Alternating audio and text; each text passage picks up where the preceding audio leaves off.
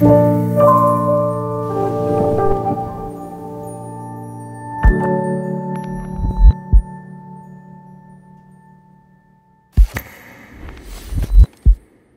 j'ai commencé euh, à travailler sur l'Iran, notamment euh, en 2003, c'est à ce moment-là que venait juste euh, d'être découverte une très grande civilisation sur le plateau iranien, dans une zone où jusqu'à ce moment-là, qui était complètement vierge d'un point de vue archéologique, donc ça a vraiment émergé hors du néant.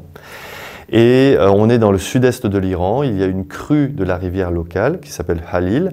Et cette crue, étant donné qu'elle est sortie de euh, cette rivière, elle est, sortie de son cours, elle a endommagé des cimetières du troisième millénaire et des cimetières du troisième millénaire avant Jésus-Christ, dans lesquels, dans les tombes, il y avait de très beaux objets dans une pierre noire, on appelle la chlorite, ou euh, sur lesquels il y avait représenté des scènes des très, des très belles scènes et souvent des scènes euh, où il y avait sûrement des représentations mythologiques. Les gens sur place ont vu qu'ils vivaient sur un trésor et ils ont commencé à piller la région. Donc en fait, euh, c'est pas un seul site, c'est toute la vallée de la rivière qui fait une cinquantaine de kilomètres, qui est truffée de sites. Et c'est pas les archéologues qui ont trouvé ça, c'est la rivière et les habitants sur place. Et donc on fouille. Euh, moi j'y vais depuis 2006. J'ai travaillé avec des collègues euh, iraniens et des collègues européens euh, notamment.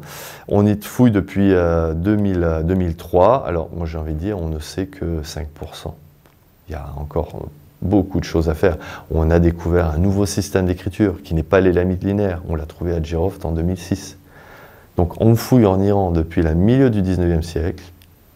Et en 2006, on trouve un nouveau système d'écriture que j'ai appelé l'écriture géométrique. Donc ça, je pense, ça fait vraiment relativiser sur le, degré de nos connaissances. Hein. Il y a il y a encore tout à faire. Hein. Il y a encore tout à faire.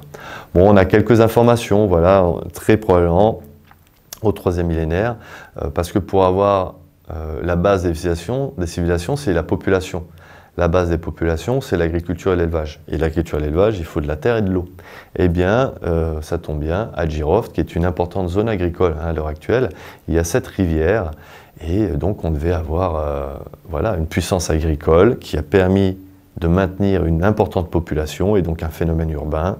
Et qui dit phénomène urbain, eh bien, il va y avoir des élites qui vont apparaître. Et qui dit des élites, ah bah, on va voir apparaître des artisans spécialisés qui vont répondre aux demandes des élites et avec de l'artisanat extrêmement euh, élaboré.